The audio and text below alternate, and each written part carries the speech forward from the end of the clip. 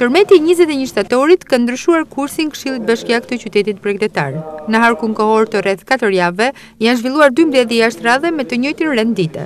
Dëmshpërblimi për familjet e prekura nga goditjet sizmike që ndodhën gjatë fundshtatorit.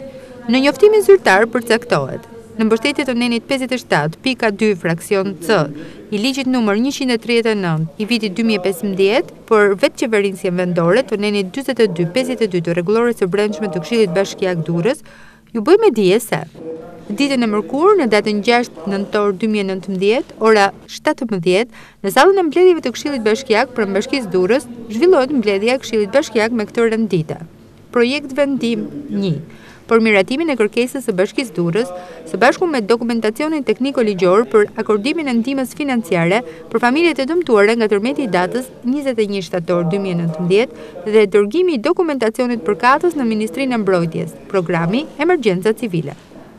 Rendi i ditës, siç bëhet e qartë në njoftim, do të ketë vetëm një pikë, e cila i hap rrugë dëmshpërblimit për banorët që kanë dëme të konsiderueshme në shtëpitë apo apartamentet e tyre si pasojë e lëkundjeve të forta sizmike. Mbledhja është e hapur për të gjithë qytetarët.